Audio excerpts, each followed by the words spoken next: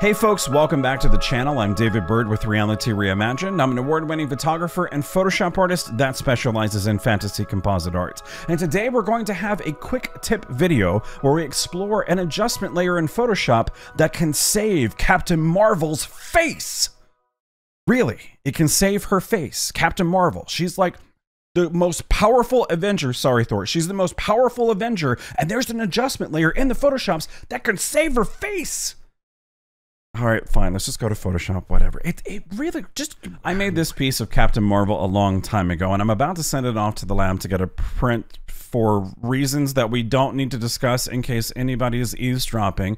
And before I send anything off to the lab, I like to take a second look at the artwork and make sure that there aren't any flaws or problems or things that I didn't catch when I was creating it.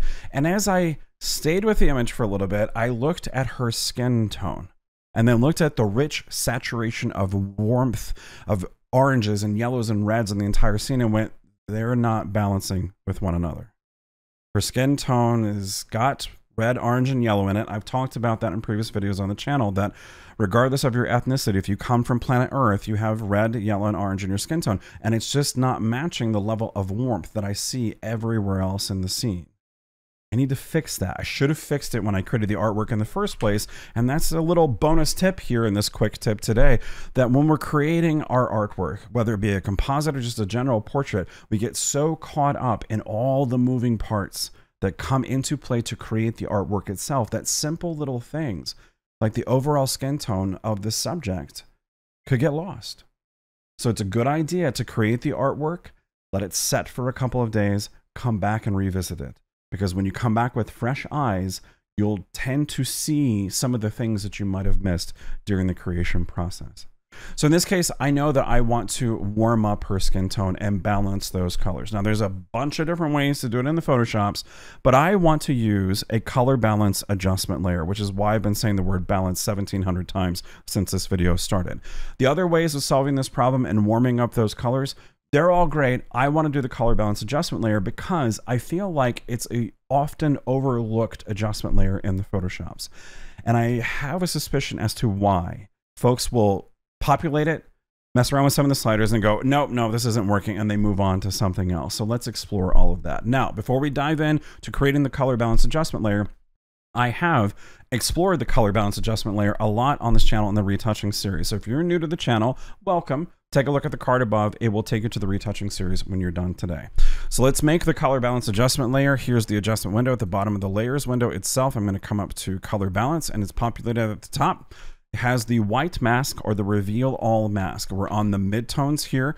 Again, with the color balance adjustment layer, very briefly, you have the three different luminosity controls of highlights, shadows, and midtones. And where the colors get moved around will correspond to wherever we see the strongest highlights, the midtones overall, and the strongest shadows within this scene. Now, Here's what I think happens. People make a color balance adjustment layer and they're looking at her face. So keep looking at her face and you're like, okay, well, her face is a little cool and I want to warm it up. So I'm on the midtones. Okay, that's good. Let's add some yellow to it. Oh, yeah, I can see her skin. Keep staring at her face. Yeah, yellow. That that looks okay. Red. Wow. Oh, look at the, look at the fire though and the nebula stuff and that. Wow, if I add more red to that, nebula looks really cool. I have okay. What if I add like green to it? No. What about magenta? No, that's weird. Okay, green. What if I go to the high? and you're no longer paying attention to her face. You're looking at everywhere else and saying, wow, color balance adjustment layers, they're interesting. But then when you're done, completely changing your entire artwork, you still look at the face and go, mm, doesn't look good. And then you mess around with the color balance, and then you delete it and you move on to something else. So here's a very simple solution, which is why today's video is a quick tip, because this is what I do when I need to use a color balance adjustment layer selectively and strategically within my artwork. So I'm going to be on the midtones and let's just give her a bunch of magenta. Ooh, magenta, it's pretty, right? That's awesome. We have the white mask or the reveal all. I'm going to invert this by hitting controller command and the letter I for invert. Then zoom in, hit B for brush. I want to make sure that my foreground color is set to white and I want to paint with 100% flow and opacity. This is on black. I'm going to hit the letter X to switch to white and now start painting white on this black mask to reveal all of that beautiful magenta. And now Captain Marvel is reminding me of um, uh, Jem from Jem and the Rockers, and uh, I, I I don't know if you know this or not, but Jem and I were going to be boyfriend girlfriend. I really like Synergy too, but Jem and I were going to be uh, a girlfriend boyfriend, and then she never returned my letters, which is fine because I didn't need her anyway. So now she looks like Jem. She eats too many blueberries. That's lovely. This is a mask that will only target her face. So let's return the magenta to zero zoom in just a little bit. Now our eyes are saturated with all this warmth that we see. We're used to seeing it, and the rest of the scene is not going to change, just her skin tone. We're on the midtones. Let's start there. That's where we're going to see most of the change anyway when you use the color balance adjustment layer, whether it's on skin or whatever you're doing with it. The midtone selection of the luminosity values is where you'll see the most change. So I'm going to start adding just a little bit of yellow. We're at like negative five. I'm going to add a touch of red, uh, plus five. Let's scale that back just a little bit because one thing that I can give you as a wonderful piece of advice with the color balance adjustment layer is a little bit goes a long way real fast. Now I'm going to come down to the shadows and I'm going to add just a little bit of yellow to the shadows. We're at negative three and then I'm going to add uh, plus three to the shadows. And again, we'll see most of that effect take place through here and around her nose. The midtones, it took place everywhere. Now let's go to the highlights. And let's add uh, a little bit of yellow, but I don't think we need to add red because the highlight's strongest here on her nose, on the top of her mouth, and so forth. This is where the specular highlights came in for the flash hitting her face. If we start adding red to that, that's going to look angry, and we just don't want that. We need that nice little mixture of yellows and reds in the entire scene. Let's come back to the midtones and pull the yellows down. We're at negative two now. We were at negative four. Now we're at negative two. So taking a look at the before and after, this is the after and the before before, after. Controller command and the number zero to zoom all the way back out, after and before, before and after.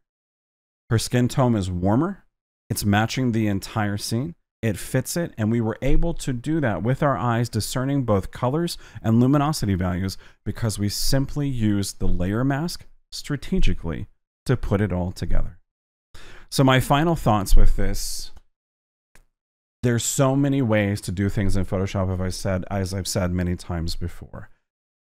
I think what happens far too often is that we explore something in the Photoshops that we play around with, and we're so enamored with all of the things that it can do that we tend to lose track of how we can use it strategically to create art and solve problems.